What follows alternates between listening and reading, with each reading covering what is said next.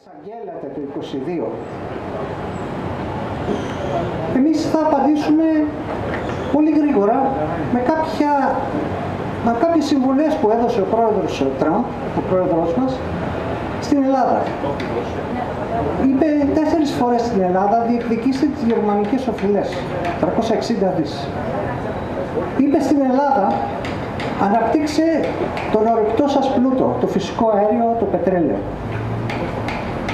Δυστυχώς από αυτά δεν έγινε τίποτα. Και δεν έγινε. Και στεναχωριόμαστε εμείς οι ομογενείς στην Αμερική αλλά και σε όλο τον κόσμο. Στην Αμερική έχουμε 2,5 εκατομμύρια ομογενείς. Ε, όχι σε αυτές τις επόμενες εκλογές θα ψηφίσουν. Και θα ψηφίσουν πατριωτικά και όχι με γνώμονα του Ρουσφέτη. Θα ψηφίσουν για αυτή τη φουκαριάρα της σημαίας στην Ακρόπολη η οποία μπορεί να μην έχει το σταυρό μέχρι τότε. Διότι κάποιοι θέλουν να μας κάνουν σε μια, μια εθνοτική σούπα και εμείς οι ομογενείς αλλά και τα χιλιάδες μέλη, 43.000 μέλη του κόμματος στην Ελλάδα, του Ρεπουμπλικανικού κόμματος τον ΗΠΑ, αυτό δεν το θέλουμε ούτε για μας και τα παιδιά μας. Δεν θέλουμε την αντιπαλότητα του εμείς οι, οι μπολιασμένοι αυτοί οι εμβολίαστοι, όλοι είμαστε Έλληνες. Όλοι έχουμε ένα κοινό πρόβλημα, το κινέζικο κομμουνιστικό ιό που μας έστειλα. Ενωμένοι από το δίκη, από το ΕΠΑΜ, τη Νέα Δημοκρατία. Δεν έχουμε εμείς ταμπέλες στην Αμερική. Και όταν θα έρθει η ώρα να ψηφίσουμε, δεν θα ψηφίσουμε αυτούς που διχάζουν, θα ψηφίσουμε αυτούς που ενώνουν και θα ψηφίσουμε αυτούς που θέλουν το καλό της πατρίδας και όχι το, το καλό της τσέπης Γιατί όπως είπε ο πρόεδρος Τραμπ, το, 1900, ε, το, ε, το 19 στην μεγαλειώδη του ομιλία στα Ηνωμένα Έθνη, ο καλός ηγέτης είναι αυτός που σκέφτεται πρώτα την πατρίδα του.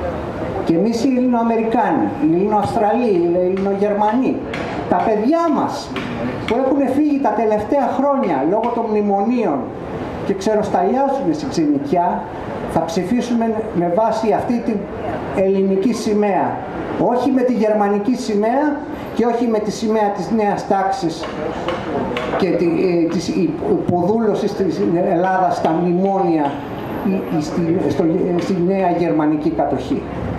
Εμείς οι ομογενείς στηρίζουμε έμπρακτα και στις επόμενες δέκα μέρες κάνουμε πράξη αυτή τη στήριξή μας με το νέο ομογενειακό κανάλι που θα δώσει φωνή σε όλες αυτές τις πατριωτικές συνειδήσεις τις οποίες, τις οποίες η νέα τάξη ε, πραγμάτων προσπαθεί να φημώσει. Χαιρετίζουμε αυτή την ε, ε, προσπάθεια χαιρετίζουμε όλους τους φίλους, δεν μπορώ να πω έναν, δεν μπορώ να πω πρώτα τον Νίκο τον Καραχάλιο, δεν μπορώ να πω πρώτα τον Δημήτρη τον Καζάκη, δεν μπορώ να πω τον Νίκο τον Νικολόπουλο, γνωριζόμαστε στους αγώνες εδώ και 15 χρόνια.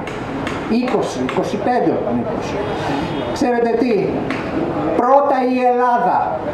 Αυτό είναι το σύνθημα της ομογένειας. Και αυτή η κίνηση έχει την πλήρη μας στήριξη διότι είναι ελληνική είναι πατριωτική και δεν είναι διχαστική.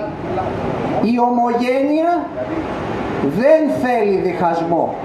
Φύγαμε από την Ελλάδα λόγω των διχασμών, λόγω της οικονομικής καταπίεσης, λόγω της γερμανικής κατοχής, της πρώτης, της δεύτερης, της τρίτης. Η ομογένεια στηρίζει, είμαστε πολλοί, είμαστε ενωμένοι, είμαστε δυνατοί. Και είμαστε εδώ στην καρδιά της Ελλάδος. Σας ευχαριστώ πάρα πολύ.